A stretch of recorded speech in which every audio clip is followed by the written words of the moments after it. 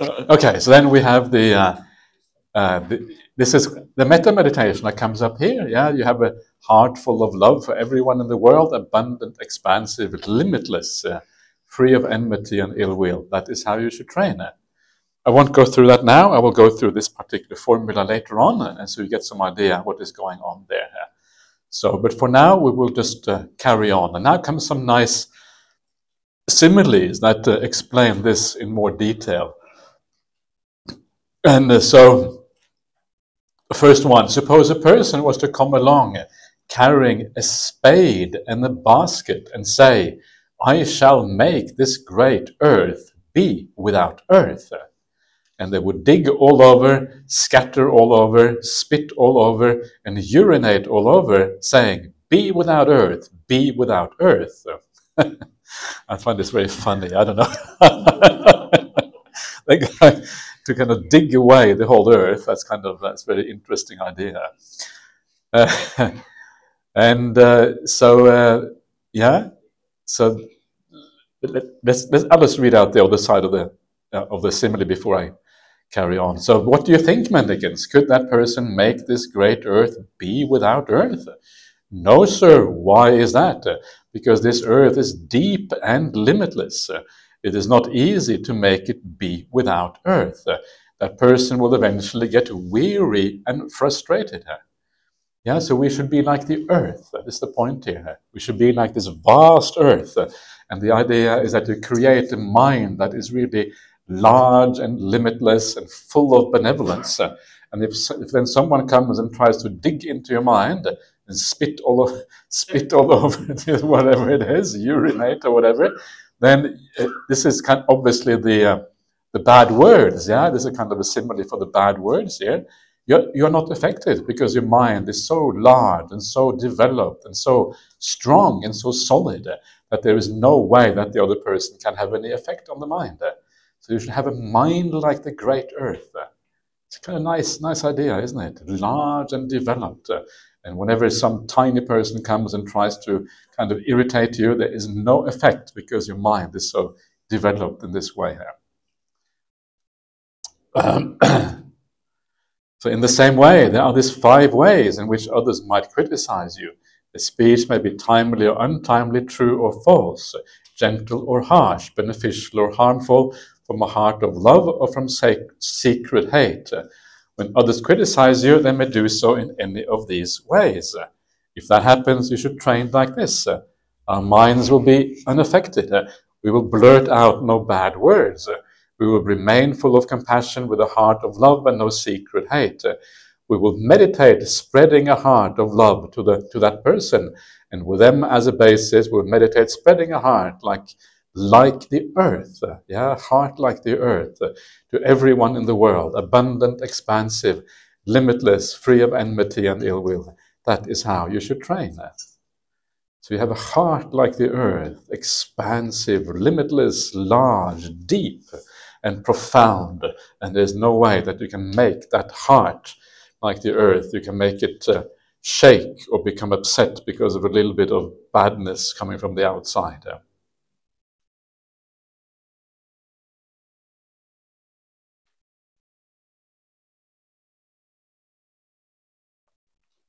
Okay, next simile. Suppose a person was to come along with dyes such as red lac, turmeric, indigo, and rose madder, and say, I shall draw pictures on the sky, making pictures appear there. I don't know what this rose madder is, but anyway, it's probably some kind of color, I suppose. So, uh, um,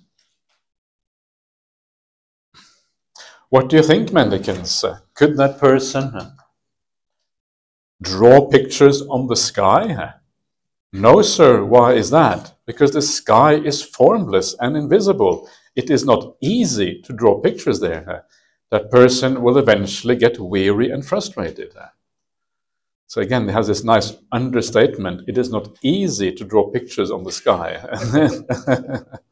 it's kind of it's kind of, kind of funny. so uh, yeah, your mind is the same. The mind is kind of uh, formless and invisible, like the uh, the sky. There is no cracks in it. There, there is no there's nothing that kind of can it can stick to. Yeah, the mind is kind of becoming like Teflon. There's no sticking point anywhere. There is just like the sky, just like you cannot draw in thin air. Yeah, trying to draw on thin air is going to be pretty useless. In the same way, you know, the mind is kind of uh, unstickable, uh, un, doesn't hold on to anything at all. Uh.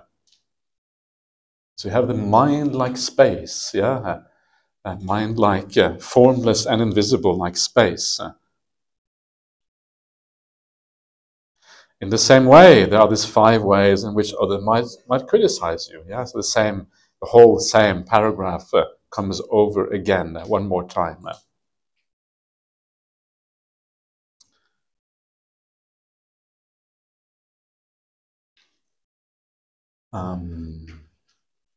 Aru Anidasana. Hmm.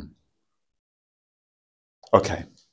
Suppose a person was to come along carrying a blazing grass torch and say, I shall burn and scorch the river Ganges with this blazing grass torch.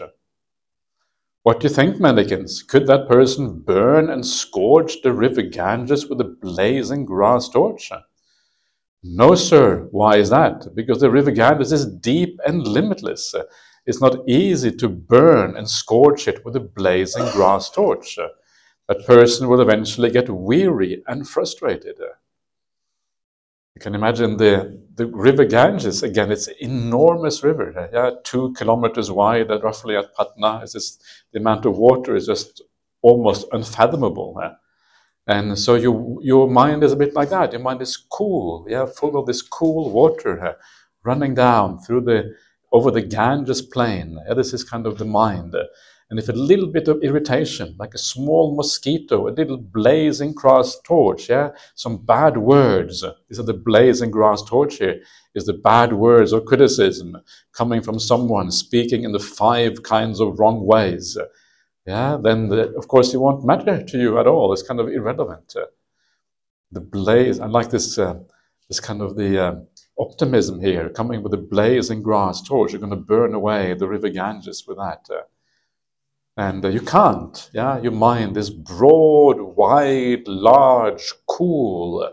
Yeah, full of the anti-torch. The torch is hot, the water is cool, and of course it will put out that torch in no time because of the power of the river Ganges. Uh, so have a mind like the river Ganges uh, as you flow on in the world, like the large rivers. Uh, yeah, what does it say in the in the beautiful um, beautiful verse in the Sutta Nipata or something like that. It says something about the, uh, the, it is the small brooks that make all the noise, the large rivers flow silently. Yeah, it's a beautiful saying from the suttas. Uh, and the idea it is that it's the sages of the world, they are silent. Uh, they flow through the world without making much noise. Uh, and there's all the kind of the uh, people who don't have so much wisdom. Uh, they are the noisemakers in the world.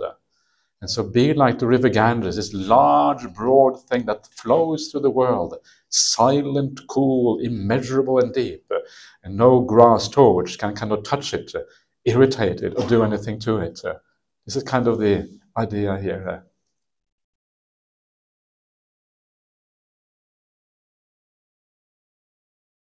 In the same way, there are these five ways in which others might criticize you. Suppose there was a catskin bag that was rubbed, well rubbed, very well rubbed, soft, silky, rid of rustling and crackling. And a person comes along carrying a stick or a stone, and they say, I shall make this soft catskin bag rustle, crackle with this stick or stone. What do you think, mendicants? Could that person make that soft catskin bag rustle and crackle with a stick or stone? No, sir. Why is that? Because that catskin bag is rubbed, well rubbed, very well rubbed, soft, silky, rid of rustling and crackling. It is not easy to make it rustle or crackle with a stick or a stone. That person will eventually get weary and frustrated.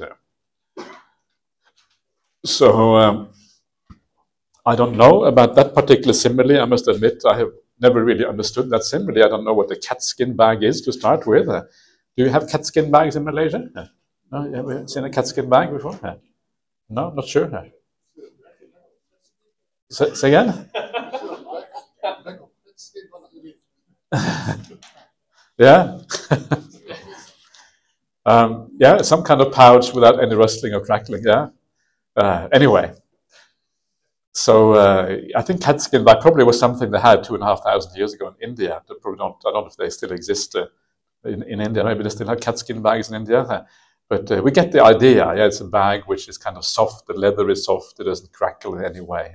And once you try to make it crackle, there's no, no way you can make it crackle. In the same way, you can't make the mind crackle.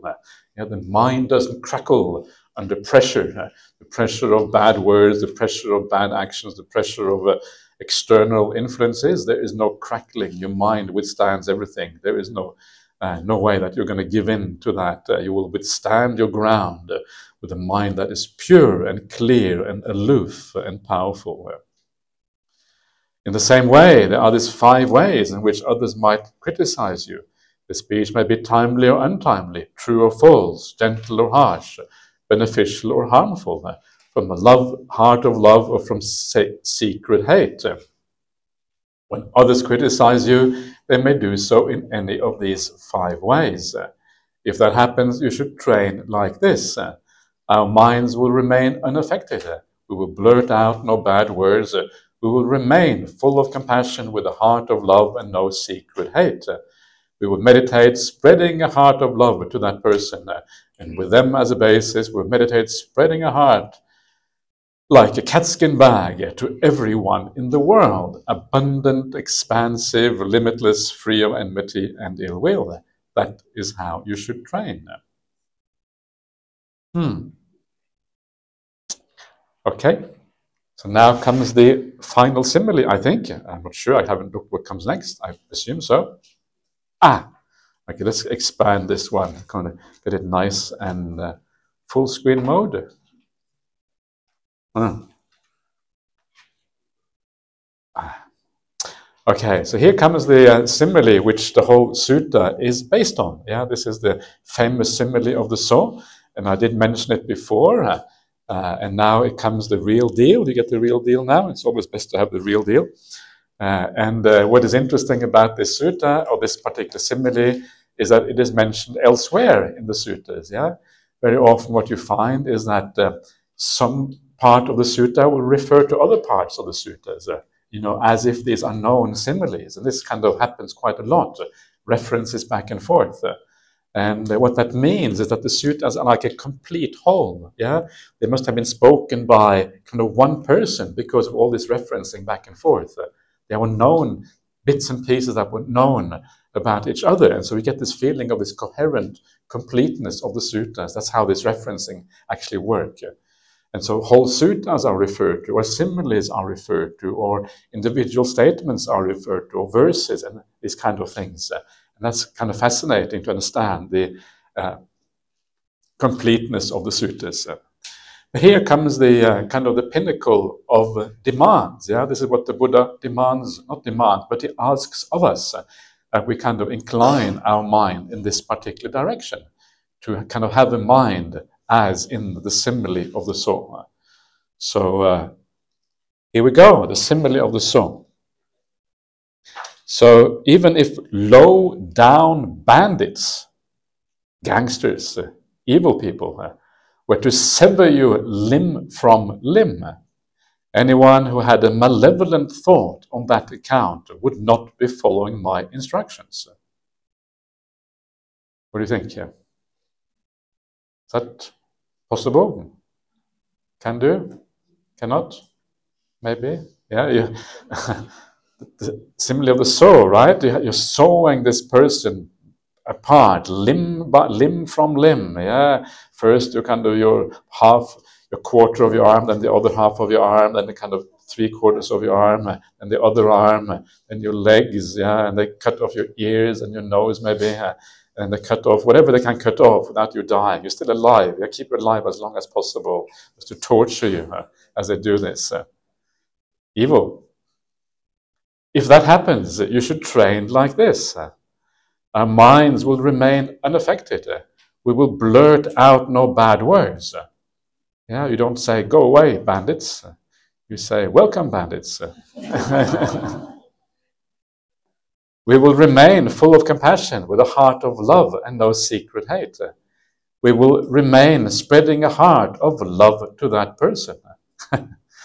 and with them as a basis, we will uh, remain spreading a heart full of love to everyone in the world, abundant, expansive, limitless, free of enmity and ill will. That is how you should train. So that is how the Buddha tells us we should train. Are you still a disciple of the Buddha?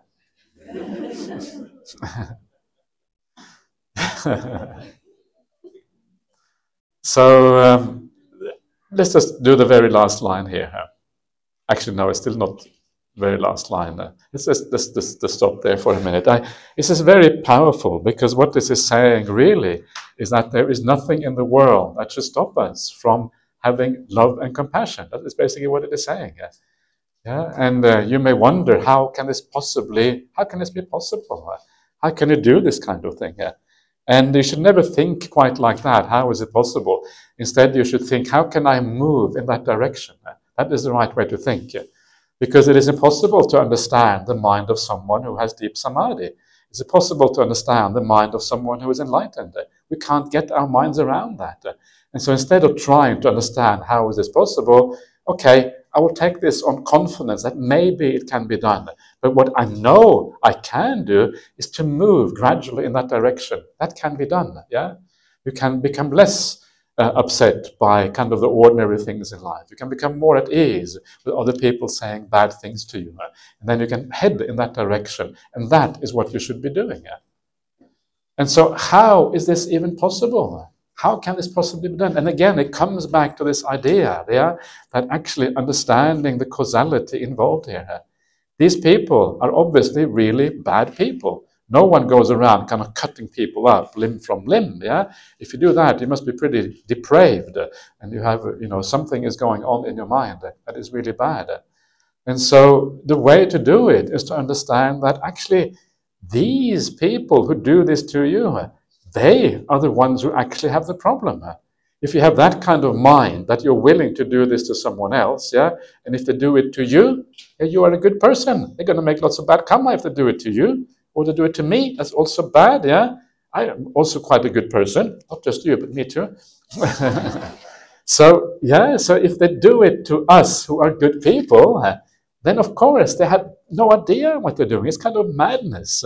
It's a kind of a mind whereby you create so much bad karma. You're cutting apart a bad person. They have no idea what they're doing. They are crazy at that moment. And so you want to tell them, listen, what you're doing is stupid. Don't cut me apart. You are the ones who suffer. You think I will suffer, but actually, if you cut me apart, I will only live for half a minute, then I'll be dead anyway. Yeah. And then I'll be dead and I'll be reborn in Devaloka because I have metta for you guys, even as you cut me apart. So there's no problem for me. I'll be all right. You are the guys who will be in trouble. Yeah, if you can think like that, then the whole problem is kind of solved, right? Okay, there is pain. Sure, the pain is even very severe, but it won't be that long before you are kind of, uh, you know, really happy and in a blissful place. You can deal with it. But these guys, where they get where they get reborn, it is not very nice. lots of fires, lots of kind of uh, you know very hot, very kind of unpleasant place where you get reborn because of that. And so again, this is the idea of depersonalizing it a little bit. It's got nothing to do with you. If someone cuts you apart limb from limb, it is not your problem. Yeah? It is not because uh, you have done anything wrong. It's got nothing to do with you. It's got to do with them. They are the fools. Yeah, it is their background, their mind, their conditioning that is coming out, and so you don't take it personally. It's got nothing to do with you. It's got to do with them, and then you can start to have compassion when you see it in this way. This is what we are aiming for. This is where we are moving. Don't think it can't be done. Just think, okay, I will move in that direction. Then you are on the right track. Yeah. So let's see how this all ends. Um, if you frequently reflect on this advice, the simile of the saw, do you see any criticism, large or small, that you could not endure? No, sir. So, mendicants, you should frequently reflect on this advice, the simile of the saw. This will be for your lasting welfare and happiness.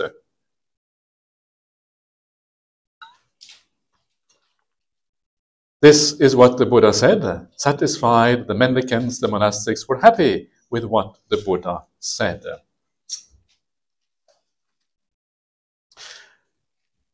Okay, everyone, so let's have another break and uh, we'll come back for the Q&A session at uh, 4.30. Yeah.